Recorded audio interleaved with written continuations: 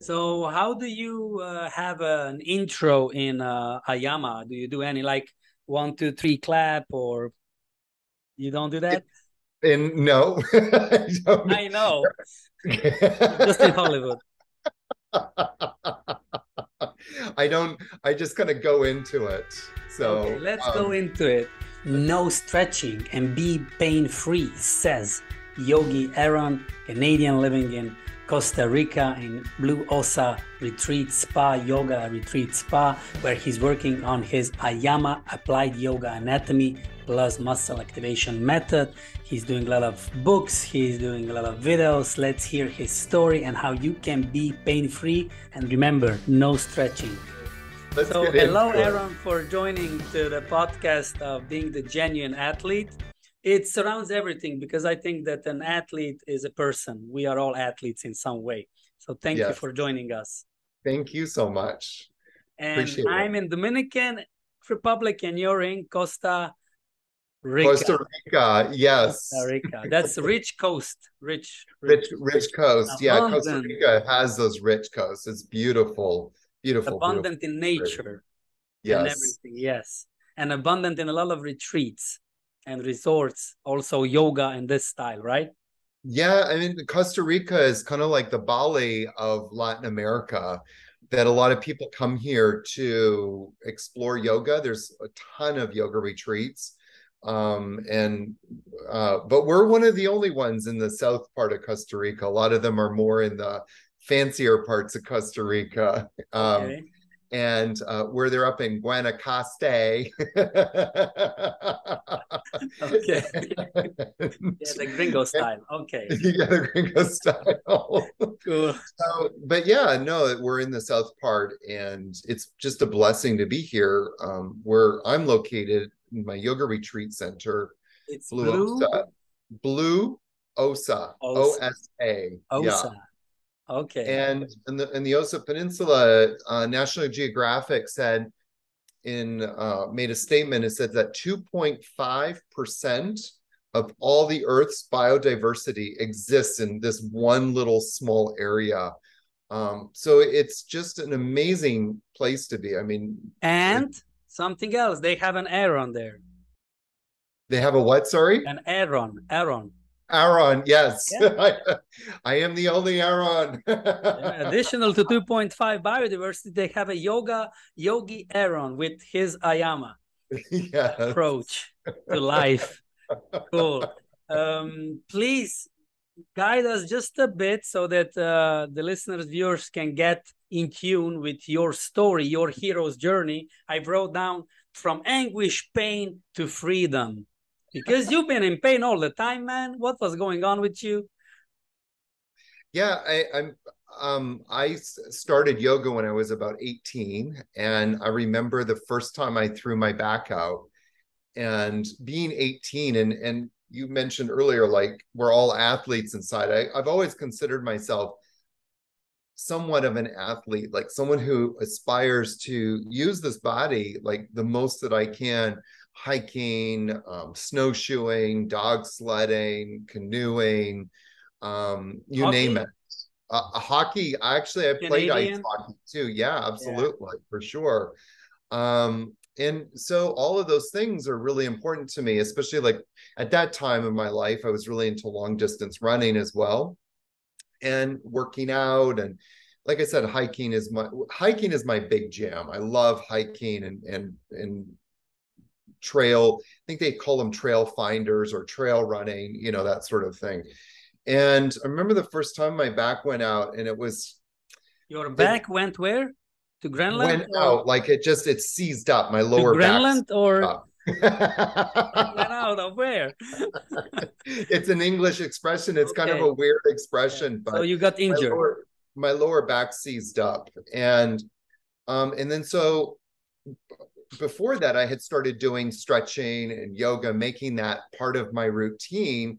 And like a lot of people you know in the sort of fitness world that they do yo they go to their gym to work out and get weights and they go to yoga to stretch and they join a running club to for cardio. But i yeah and so i kind of had like yoga as my kind of stretching uh, practice. Well, one of the things that the yoga teacher said to me, and and numerous times uh, since then, is like, oh, you just need to stretch more. You need to be more flexible. And so that's what I did. I started to stretch a little bit more. I started to um, try and deepen my yoga practice and make my body more into a pretzel. and, twist your ankle here. Oh my God, I could do it all. I mean, the things I could do back then. And, you know, and I was young enough that my body would recuperate pretty quickly. Um, but as I started to get older and as I got into my late 20s and early 30s, I started not just developing pain, but like searing neuro neuro neuro pain, like nerve pain. And I never put it together like, hmm, maybe the yoga is causing some of this stuff. Um, because in my mind, I just believe like I just needed to stretch more. I needed to um, open up more. And it wasn't until I was around 45. I mean, there was a few light bulb moments along the way, but the biggest one, one of the biggest ones was when I was 45 and I ended up in the surgeon's office. And he's telling me, like, you are probably going to need to have a spinal fusion. And I was like, there has got to be another way. Like, I'm 45 years old. I'm too young to be getting spinal fusion. and so shortly after that, I was visiting uh, my friend Eric uh, who does muscle activation technique.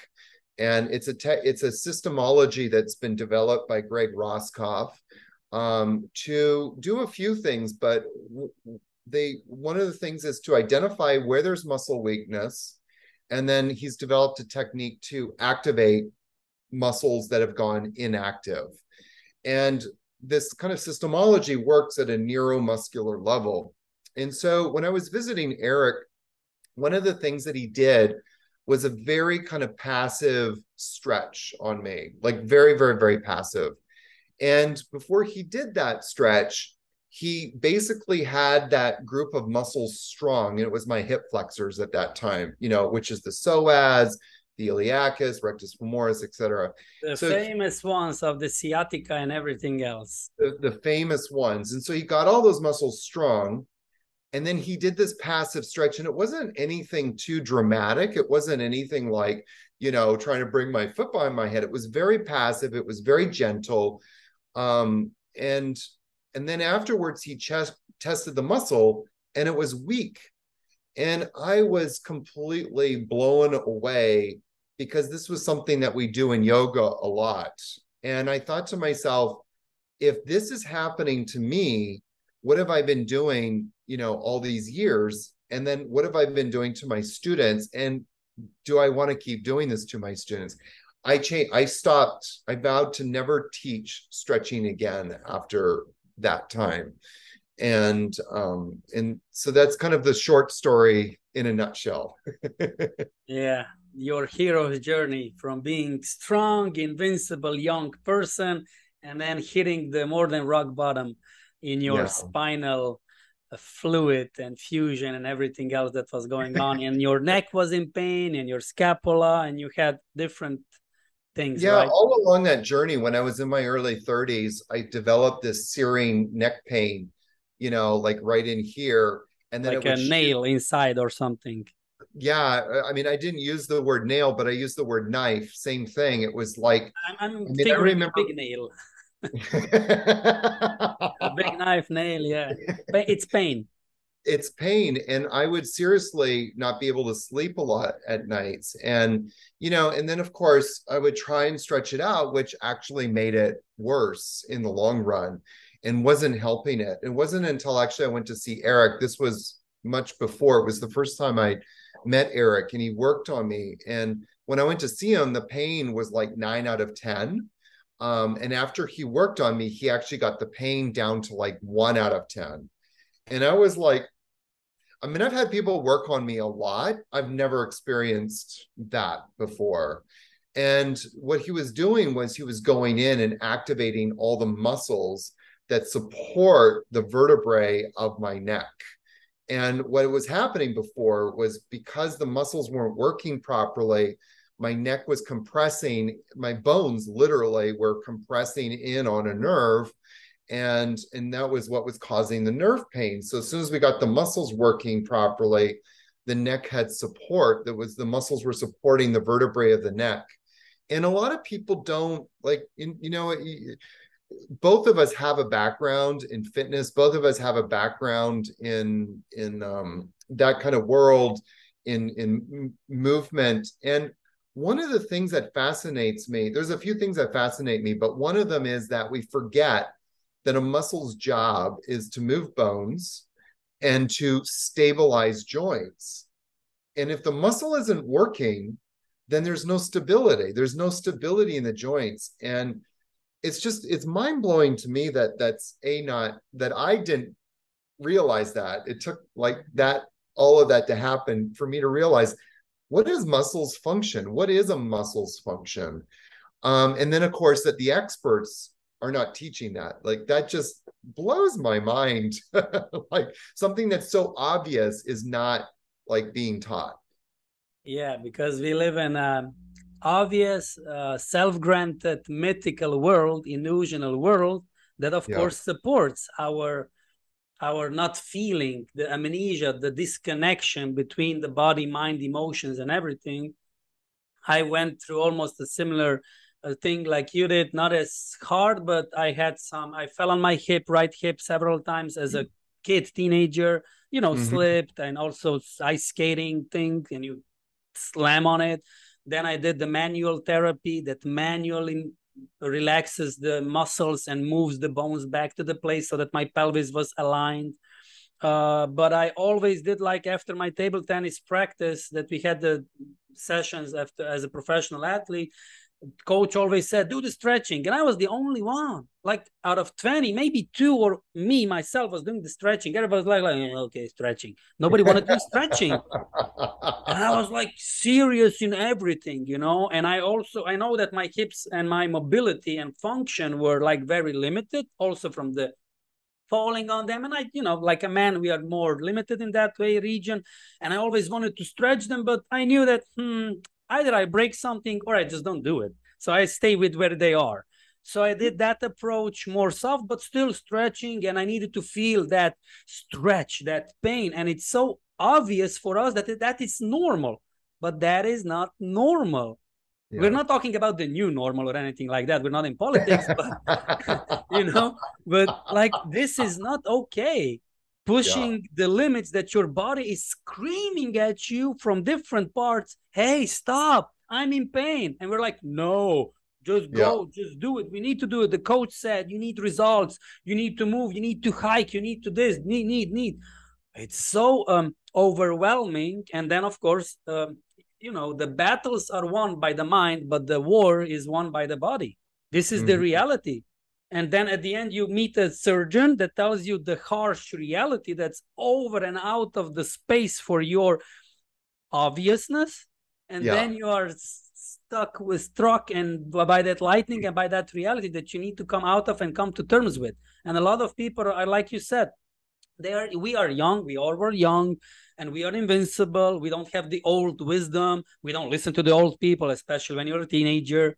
Uh, and then when you're in your 20s you're like hmm, maybe i should listen but not yet. And you'll never have pain. All these people are geriatric. They i'm not like them.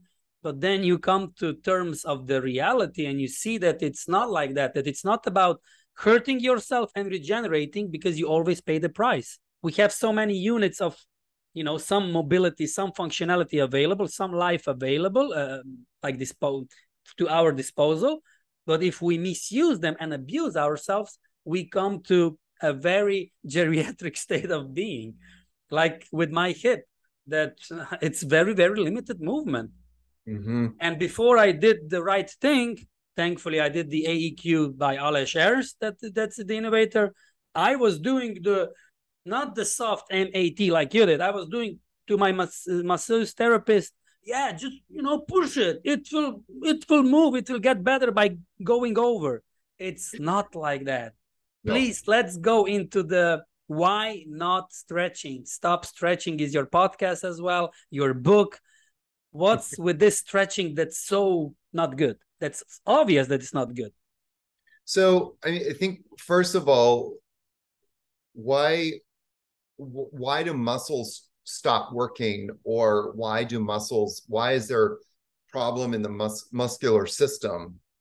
And so, from an MAT standpoint, from what I've learned from MAT, um, in my my background there is it's got to do we're working more in the neuromuscular system so there's the messaging system between the brain and the muscle isn't working um, for example like if as i'm sitting here if i decide to lift my right knee uh, towards my chest the brain has to send a muscle or a message to like the hip flexors yeah. like contract contract contract so eventually those messages get there but from our standpoint, we define um, proper muscular contraction or a healthy muscular contraction when a muscle can contract and contract on demand. I mean, there was like one time when I was um, showering, this is going back many years now. Um, and I was at the end of a teacher training, I was leading a teacher training it was a really stressful kind of month for me for a lot of various reasons and i was leaving for vacation like right after the teacher training so i had a lot on my mind there was a lot of stress the day before the end of the teacher training i had demonstrated this yoga pose it was a balancing pose and i was twisting my body and you know putting stress on it. And the next day i was in my shower and i was washing my hair and i reached up and grabbed like the shampoo bottle. And at that moment my back my upper back uh seized up. And i was going to say it went out but alaska. seized up. And i developed like this searing pain right in between my shoulder blades um and so you know the I was reaching up for the shampoo bottle and I lifted my arm, but my muscular system couldn't support my arm lifting. And that's why the pain ensued. So those muscles that supported the lifting of the arm and grabbing that very heavy bottle of shampoo um, they couldn't they couldn't support that stress um, at that moment of me just lifting my arm and so there was a disconnect between the brain and the muscles it's kind of like one way to think about it is like a phone line between the brain and the muscles and so what we're trying to do is to improve that connection. What we find, or what we have found, um, not we, but like the science community, because there's a lot of evidence um, to start supporting this. But what we find is that when we start to stretch, we start to push the muscle beyond its capacity of what it can do. So, a simple example of that is like if you lie on your back and you bring your knees to your chest and your arms are out to the side. With normal people, there's like a distance between the knees and the chest. Okay. But if we can always grab the knees and bring the knees to our chest, but the muscles aren't contracting that way. The muscles can only bring the knees that far. They can't bring the knees that far. So when my knees are to my chest, my brain is connected to the muscles. The muscle spindles are saying, we can only contract this far. The brain is saying, okay, you can only go this far. Now we can improve it maybe by letting the legs come out, bring them back, bring them out, bring them back, and, and do some repetitions. We can probably improve that contractibility. But if I bring my hands around the knees and pull the knees towards my chest, I'm now forcing all of those muscles to contract beyond what they're capable of contracting. And then literally, the brain loses connection with those muscles. Um, the brain doesn't know where those muscles are in space.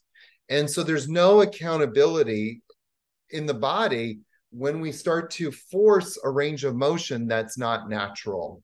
I mean, that's it kind of like in a nutshell. Another way of saying it is like, you know, there's a sense of proprioception. Like my brain knows where those muscles are, um, especially as it's doing like a movement. But as soon as I passively move the body a certain way, the brain lo- disconnects uh, from those muscles. And once it disconnects from those muscles, there is now weakness there because the muscles no longer can contract and contract on demand. Yeah. And then we have the interoception, all the sensors yeah. from the inside of the body that are being sent. Uh, yeah. With the AEQ method, I've I've learned and heard and practiced and experienced by myself and with the clients that I work with that we should have a 20 to 80 ratio. 20 is the brain sending the signals, 80 is the body sending back to the brain so that yeah. the brain can decode, decipher, distinguish, filter, and do what it needs to do. Yeah. But we live in a world where it's 99 brain. We live in a very brainish world and 1% body. Yeah. I've had athletes that said to me, literally wrote to me every day, Jure, I don't care what will happen. I need to win. I need to achieve. I need to get. I'm like, you are going to hurt your body. It doesn't matter. I'm willing to pay the price.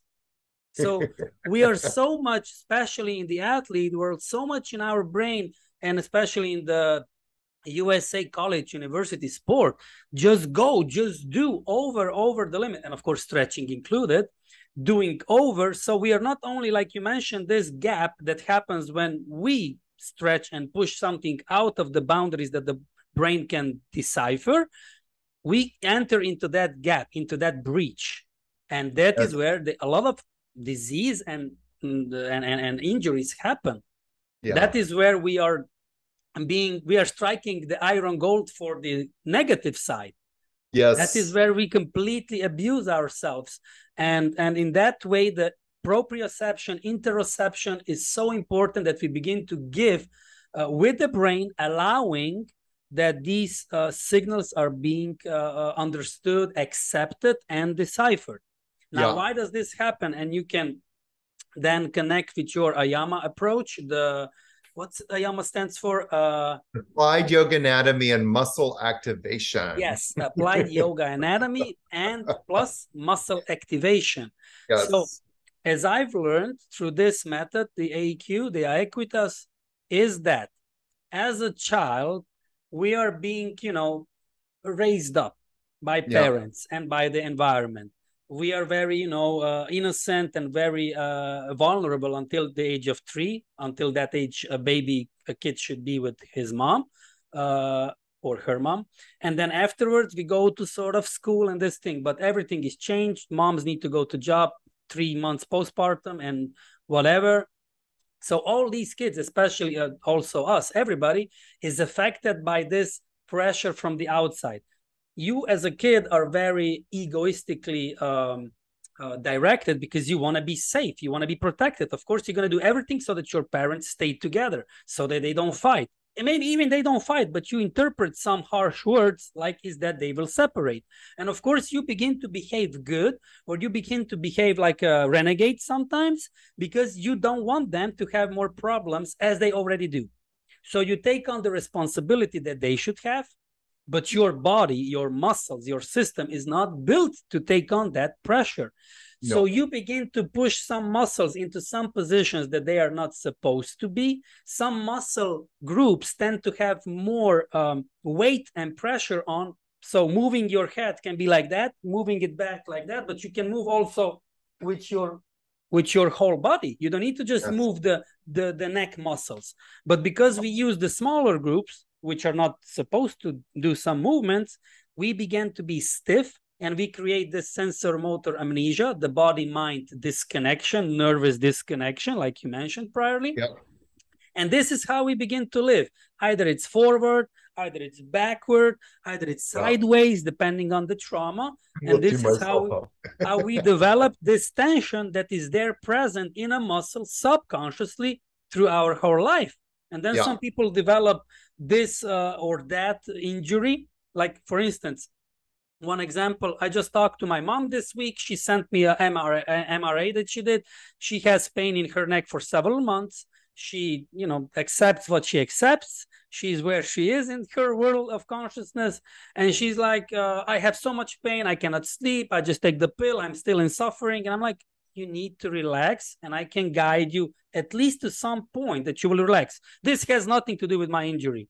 I'm not tense. What are you talking about relaxation? Relaxation because she was a sewer you know she was sewing dresses and she was always like that sewing in yeah. the machine her 30 40 years of life and now she has her life story what she has and everything is here like sucking out the energy the muscles are tense when uh, when they are not supposed to be when they should be relaxed and mm-hmm. i tell mm-hmm. her because you are tense you are push, putting the pressure on the bones so they get abused the, the cartilage and the discs and the hernia and everything happens that has nothing to do with it. I'm going to go to that therapy.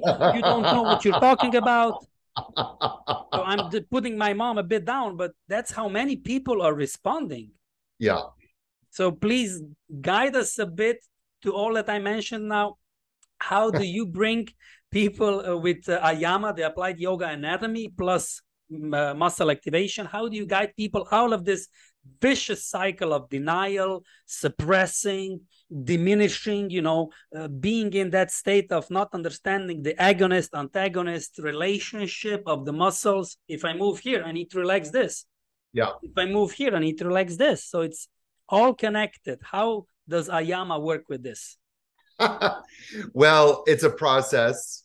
Um I one thing you said which I wanted to respond to was I think you said something really important that a lot of people like have pain in their shoulders for example and so they go to a physiotherapist and the physiotherapist says yeah it's because your rotator cuff muscle isn't working the supraspinatus or teres minor or something like that and so then what the physiotherapist does is just give them exercises to strengthen the teres minor and supraspinatus.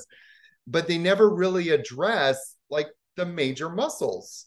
And that just blows my mind. Like, you know, like what about getting the the actual muscles that support the shoulder joint, like the major muscles, like working properly?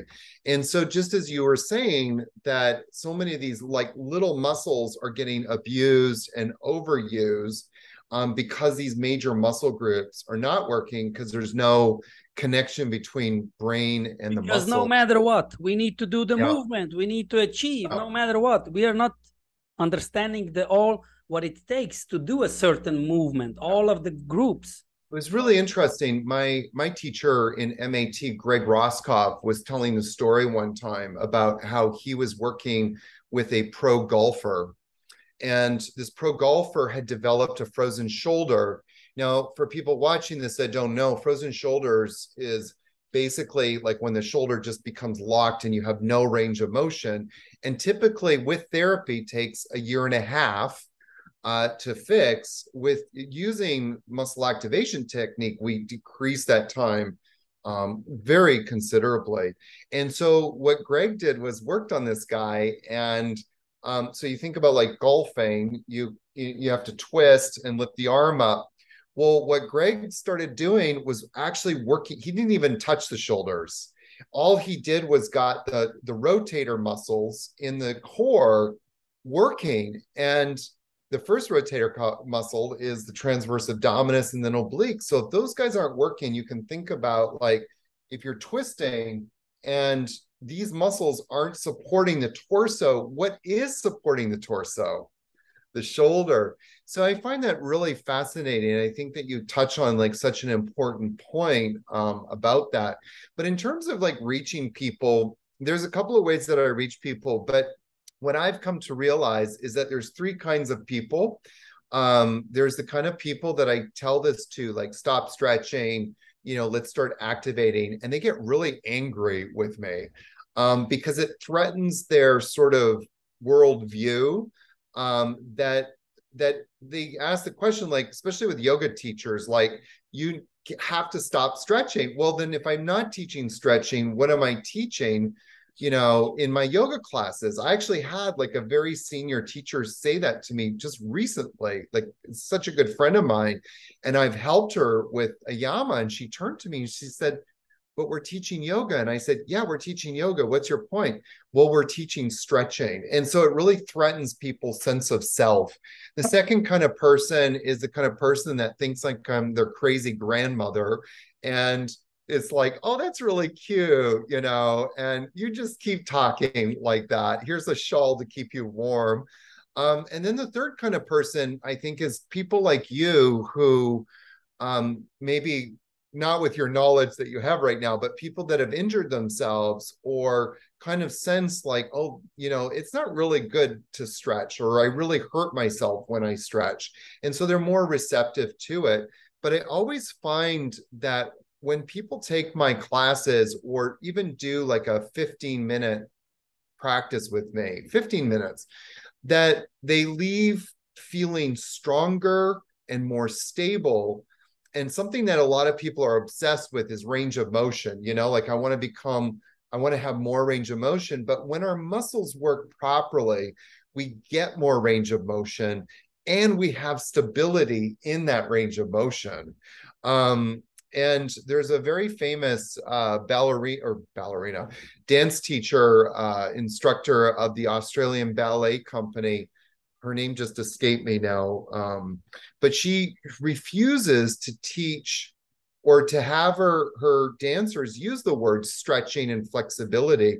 She said i don't want them to stretch because when they stretch when they bring their leg up here they can't keep their leg there without the hand holding the leg there um, because there's no there's no strength in that range of motion. And so when I'm working with people and I get them to actually start to do these things, they go, wow, I'm not in pain. Like, how did that happen? And um, and then they that it starts to become more real for them. So I think that one of the to answer your question is just we got to give people an experience as much as possible. If people are open to it, if they have a direct experience, they feel it in their body very quickly and they notice two things they notice how much stronger they are and then they notice that they're not um, experiencing pain like they did before mm-hmm. um, in my case i had pain in my right hip and priorly in my right uh, i injured also my right uh, knee meniscus uh, disc mm-hmm.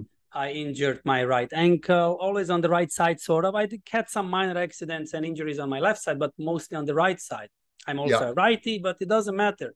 And what I've come to terms with with the AEQ method is that there's always a reason, there's always a root cause.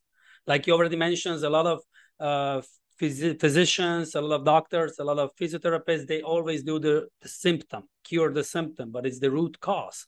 So yeah. in my case, my root cause, like I mentioned in some of the previous podcasts, uh, was and is somehow still the, the my relationship with my dad. The right side is like male side, dad side, and the hip because I carried the weight that my dad should be carrying, and also I used my hamstring and my exterior muscle in my in my femoris uh, in my thigh i used it too much when actually my body should be carrying that weight so yeah. everything was stiff and my my hip was hitting in the hip cuff cup and it was using abusing the cartilage because it was too tight and when i began to do the exercises i sent the signal the movement was there but i didn't get it back because it was already so abused and misused how I was living my life. And I was studying sport and I was studying uh, as a professional athlete and, and all the, the stretching and all this agenda and myths and actually uh, very much obvious things, but from which world and what is the price that we all were paying? And people are still paying very much.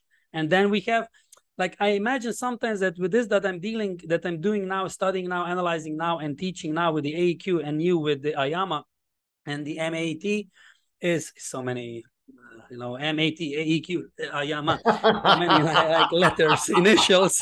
Ayama uh, uh, what else? S E Q S M A la la la.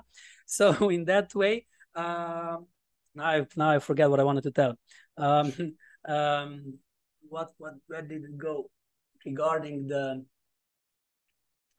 yeah, it will get back you started to build the messaging between the brain and the muscle and you started to get more proprioception and more stability yes so in that case when you begin to realize how limited we live when you begin to see how shallow actually we are not even profound not even the width not even the depth we don't yeah. have that profoundness that is necessary in order to live not only successfully in the external world or the interior world to understand yeah. this? It's all interconnected. It's not just spirituality. It's not just yoga. It's a lot of things because if you're a good yogi but you need a, a spinal infusion fusion uh, uh, surgery you're not a good yogi. You're doing something wrong. Yeah. you're abusing yourself. So with chronic pain i see it not only on a physical level. Chronic pain comes from emotional abuse and also mental abuse of oneself not yeah. only from others of oneself because as many athletes we are abusing ourselves. Yeah. Professional athletes are self-abusing all the time and that is why they suffer and especially because they want results and especially if they don't reach them. And majority of athletes do not reach results because the first spot is usually reserved for the some few of them. Yeah. So in that sense the all this pain and you mentioned a lot about pain free uh, uh, method and and the result after ayama is pain free as i see it we need to hear and listen and sense the pain and listen to the pain and understand it and then yeah. we can move on to other levels of different kind of pain and that it's lower if it needs to be or it's gone because we are not anymore doing out of our range of motion certain movements or not abusing ourselves mm-hmm. can you mm-hmm. elaborate on the pain free aspect yeah, sure. I, I'm, I'm. You said something really important. Is that we need to pay attention to the pain, because the pain is like the check engine light. You know, I remember one time I was in a car or a taxi and the guy's check engine light was on and I was like, "Do you know your check engine light's on?" He goes, "Ah, I'm not worried about it." And I was like, "Oh Lord, I hope I get to the airport all right." that that the check en- pain is the check engine light and pain is usually a symptom of inflammation. Inflammation from our perspective is usually due to muscles not working and so there's stress trauma or overuse in that joint. In your case it was the hip joint. Mine it was well everywhere in my body. But but you know it's important that we start to pay attention to the pain. And what I try to teach people, this is part of the applied yoga um, anatomy part, is like to teach people experiential anatomy, like be quizzitive about well, what muscle is there. And if we can start to understand that, like like one day I went for a walk. One of my kind of ways that I exercise now um, is by walking. It's it's a nice, gentle, easy movement that um, is has low impact but a lot of benefits. And um, so i've been walking a lot. And one day i went out and i was going for my walk and i had this pain in my groin.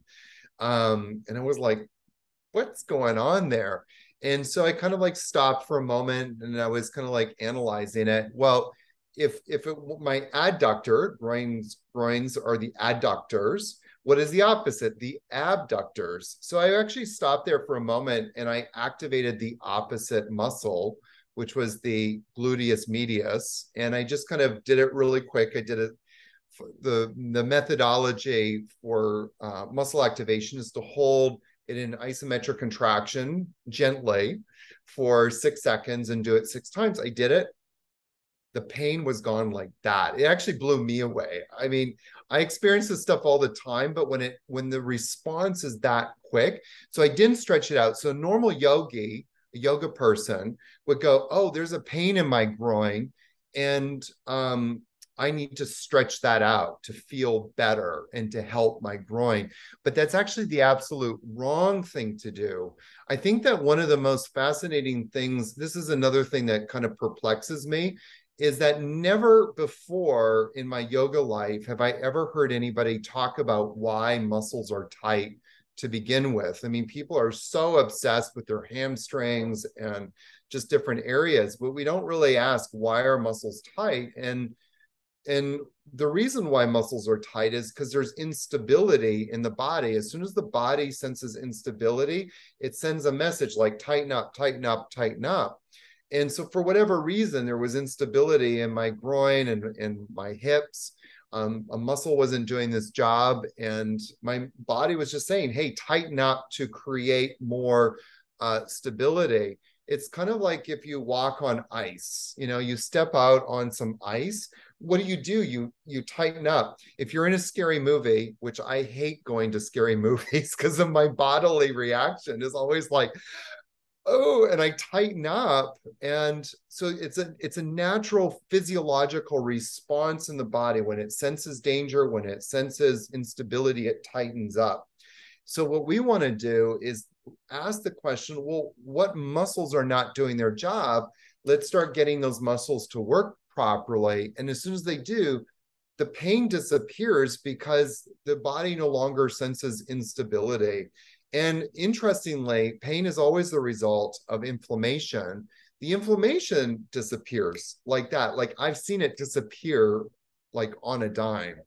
Um, and that's so that's i hope that answers your question yeah yeah it does this is the same thing that different methods are coming to terms with and yeah. life actually because yeah. we live in a world where we want to achieve uh, conceive get uh, go there you know diminish something and you know prove something to someone and we yeah. live in a world of course especially coming from our childhood we always want to prove ourselves to us or to our parents or to the community and there's always the contraction and especially yeah. going through life as a young child you always have some situations that are traumatic for you. Maybe it's traumatic that your mom doesn't give you you know food on the table.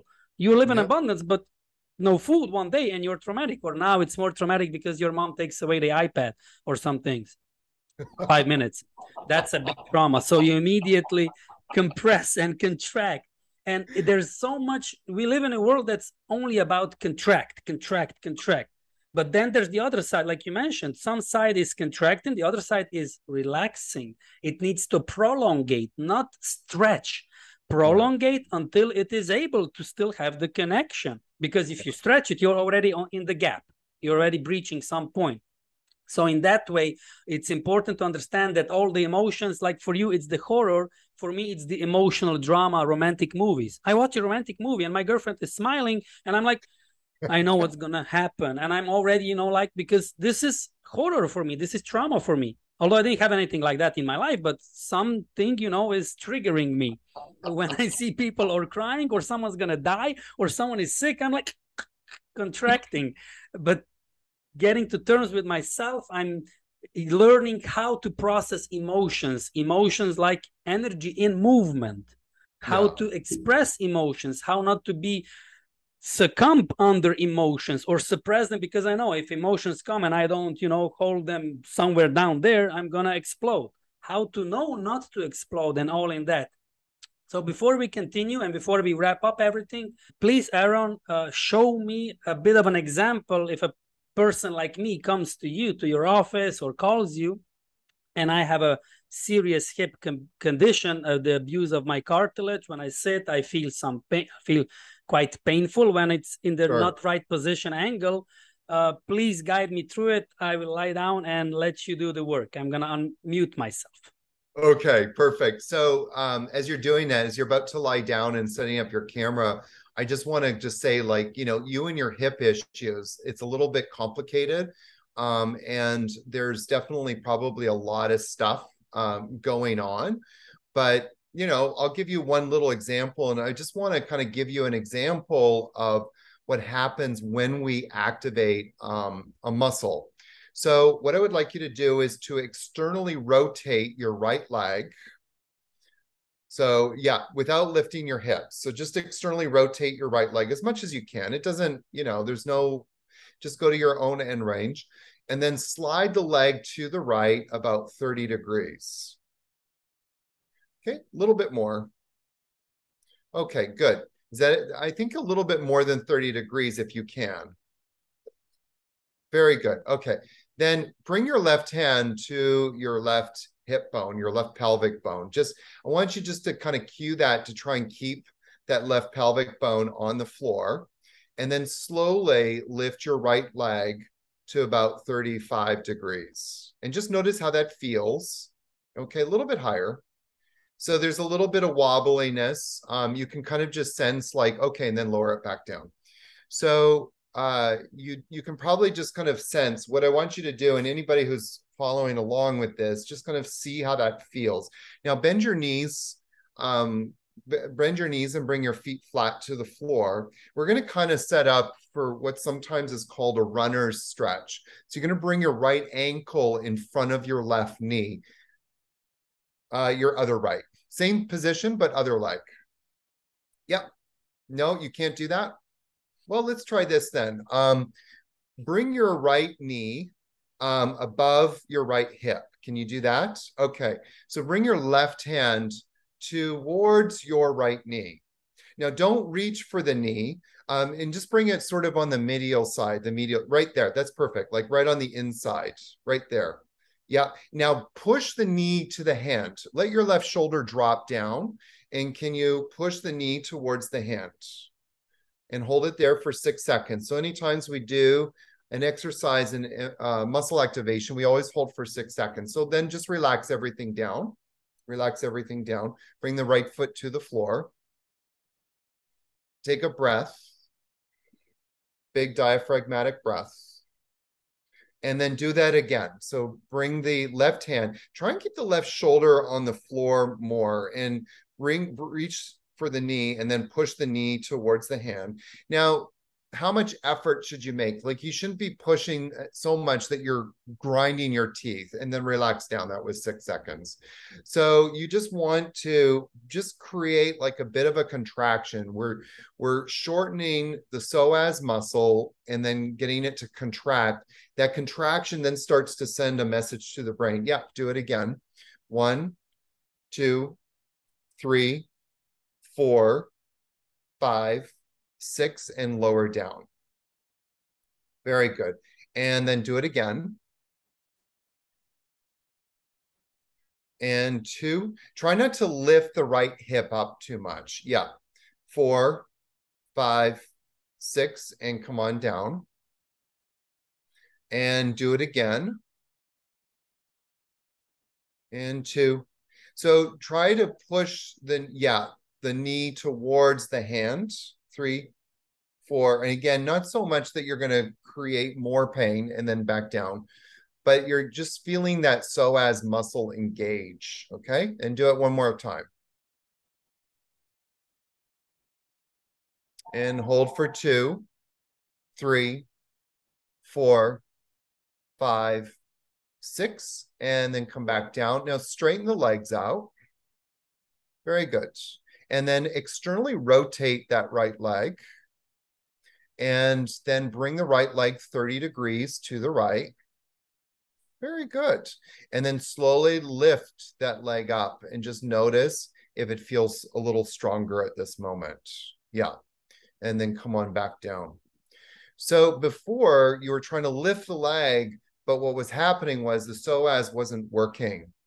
And so now we've got the psoas working, which is a major muscle in hip flexion that the leg now starts to kind of like float up. So that's the demonstration. That's just a little, a little, little, little, little taste of some of the things that we do. Thank you for the example demonstration. That was great. Yeah, that's one of my, I do that a lot with my students. There's a few things that I do. Um, and that's definitely one of them and they can usually feel a, a, dramatic difference. Just by doing something really small can have a big impact and that's and what i should be pushing for. the left arm against the knee or just the knee pushing in the arm? Just the knee to the the, the hand there's no resistance from the hand? No the, the hand is just acting as a block and because what's doing the movement is the psoas. The psoas is theoretically bringing the knee up and pushing the knee to the hand. So one one of the steps I didn't do with you was getting your hand to feel your psoas shortening or contracting. And so what happens is like all the spindles in the psoas send a message to the brain, we're contracting, we're contracting, we're contracting. And the brain goes, oh, there's a muscle there. yeah, it's a feedback loop that yeah, we're yeah, this is the realigning readjusting getting back together yeah. with what how body should function efficiently yeah. okay. now one thing i didn't do with you which i could have done um, but i didn't want to because we got the muscle strong but i could have said to you hey, Jor, bring the right knee to your chest. Now hold, pull, pull the knee to your chest with your hands. If we had done that and then had you retest again, you would have noticed that not only was it weaker, but it was weaker than you were before we even started the whole thing in the first place. Yeah. And that's what stretching does. It really debilitates um, the muscles function.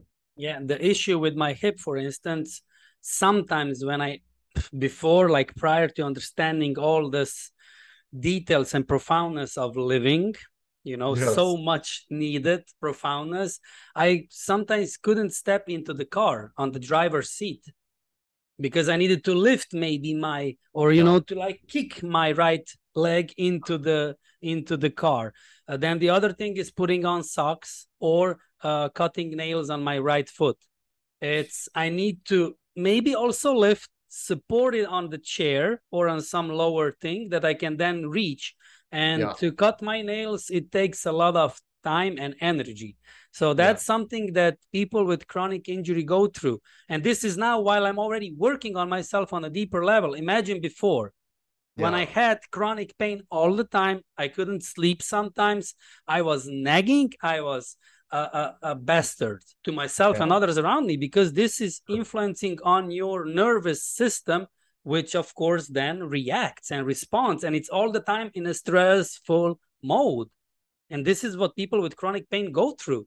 Yeah. so this is unimaginable and thankfully to ayama and many other like AEQ and other uh, methods that help to alleviate and to relieve this pain and not only long term and not only short term but also long term and that you yeah. understand where it comes from and how okay aaron so now i can give you a demonstration of the aeq method so that you can compare it's a quite advanced exercise movement uh, after done doing some exercises on the floor where you feel more like a baby that you need to go back to baby steps but uh, as the circumstances allow us i would ask you to stand up so okay. that i see you from the side and all the listeners can also try this maybe so that you have enough space uh, to lean forward in a way yeah okay just stand from the side whichever side you prefer that i look at you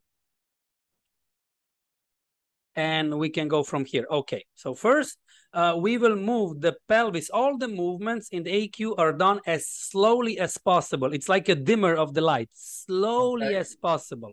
So first, maybe you can bend your knees just a bit, just a bit, and you move your pelvis back as if you want to touch something with your behind, as if you want to touch the something in the behind. Yeah, yeah. Just move, just move it back, your pelvis. Like you want and stay in that position. Okay. Now your your knees are bent. You have your uh, feet put on in the uh, hip width and, and you are touching something as if you are touching something with your behind so your pelvis is back. Now you begin to relax each one of your vertebrae from the crucial crucix or how what's the last vertebrae up so you begin to relax the muscles of your vertebrae from the behind lower back up and slowly you will go with your head also down later afterwards. So relax the first vertebrae. You still hold that knees bent and you still hold your pelvis in that position and you slowly go down. As your vertebrae for vertebrae slower, slower, you relax. You also relax your hands that are dangling in the in the in the air. Relax your air, relax your hands, arms, so slowly, yeah, you went like 50 kilometers an hour too fast, but okay. So, no, it's okay. because the AEQ exercise is you relax your arms, yes? Yes, exactly. Slowly, without your uh, abdominal muscles going into contraction. This exercise is about relaxing your back, spine, and your behind gluteus and hamstrings. It's not pushing. The goal is not to touch with your hands your feet your your uh, fingers on your feet. It's just to relax and expand prolongate your back muscles. No force is there. So now slowly you will begin to lift up from the side from the back of your uh, back from the lower back slowly you go vertebrae for vertebrae you go up and the last thing you lift up is your head your hands are dangling your head is down. So slowly you go vertebrae centimeter for centimeter. You activate the muscles of your back. Your pelvis is still back. Exactly. Exactly. Slowly you go back to the position because if you go fast, you also get dizzy, maybe. Some people do. And then the last thing you do is you straighten your head. Great. Thank you for the demonstration. You can sit and I'll expand sort of a bit on this exercise. So it's forward leaning. It's, as I said, a very advanced exercise already. Many of the exercises I've done first on the on the floor, lying down, because it's different gravity that you come in terms with as with standing. But this is just to pull put your pelvis as back as you can, and then slowly you relax. You're not pushing your body down with your abdominal muscles. You're not searching for something with your hands. There's no competition. You don't need to get somewhere. You're just relaxing all of your upper and your uh, feet and your legs are connecting you with reality are giving you stability and you mm-hmm. also relax your hamstrings if you can and your gluteus maximus muscles mm-hmm. so that all of this is like a big arch of your body that you relax mm-hmm. and in that way you begin to, to relax all of the muscles that are holding in space, in space and holding in tension all of the mm. vertebrae and where actually hernia comes from. Uh, because mm. hernia is a situation, is a consequence where the muscles of the back were tense for so long for some reason of, you know, maintaining some illusional relationship with parents or someone that then they snap because they push out the disc out of the position. How did you feel the, the exercise? How did I feel? Um, it's for me, it was very similar to sort of yoga and mindfully working on trying to get the mind to muscle connection to encourage the muscles to uh, relax. Yeah. Actually, I had a little adjustment in my neck as I was doing that. My neck went bloop. yeah, because you consciously very good. You are very present in this exercise. You don't need to be a yogi, uh, or if you are, it's even better if you can relax and consciously send different signals. As yeah. prior, also in yoga, you need to do some movement. You need to achieve some position in some way. Yeah. Of course, it's not like that the yoga nature, but it's it's the nature of ourselves. We need to compete in everything, especially yeah. men so if you achieve this fullness of presence, then you can get this uh, like adjustment, not only in physical but also in emotional. So it's a lot of this that's that's going on in in in these methods. Good. Let's uh, just almost wrap Thank it up. You. Let's touch some points regarding stability, mobility, function, efficiency. How do you see all these terms in your Ayama uh, approach? It how do i see the term stability um, yeah mobility function not flexibility. Not flexibility. Well it's interesting because in yoga um i think like one of the first rules or guidelines or i don't know whatever you want to say axioms so we have to get stable. And um, we can see that people who don't have stability either physically or mentally there's there's not a lot of stability and there's chaos um, pain you know either physically or mentally. So this kind of practice of Ayama is is all about like let's get stable in the body. Before you were talking about pain and how many people are in pain and i think like you know the kind of work that we're doing transcends so much because it's really about helping people get out of pain using very simple techniques um, that don't cost anything and and are free and um, you don't have to pay someone a lot of money or any money to do them. You just need to commit to you know 8 15 minutes 8 minutes 15 minutes 30 minutes a day and your whole life can change. And i think like let's get people stable and feeling well in their body. And once people start to feel better, they free up so much energy and they can focus on higher things in their life, like, you know, to go and, and manifest their purpose. And that's what I that's what I focus on in in getting people stable uh, in their bodies. Good. And and this is the point where people can get efficient and mobile yes. and and stable as you said because all of the energy that before was spent and abused to maintain a certain tension is now released. And yes. you have it available to use it. But of course then there's another we need to do another podcast on that uh, on that subject of what happens when you have more energy but you're still angry. You might do some crazy things. So you need to go in terms and in alignment with growing and relaxing and also maturing because when you have more energy available but you still have some you know suppressed emotions. You need to know how to deal with them and how to express them that they don't you know overflow or explode uh, in that way. Um it's, yeah. it's one of the chapters in my book. It's actually the last chapter. Who are you without your pain? Yeah yeah yeah. It's but to get there it's a lot of things to get there to be without pain because pain is not only physical it's especially on many levels and consequently on this level then it's transformed on this and then you're already in the vicious cycle in the downward spiral as you mentioned you can be so quickly on the upward spiral but you need yeah. to just do the right steps uh, yes. and the subconsciousness anyway it's another big subject that we can touch on other podcast yeah.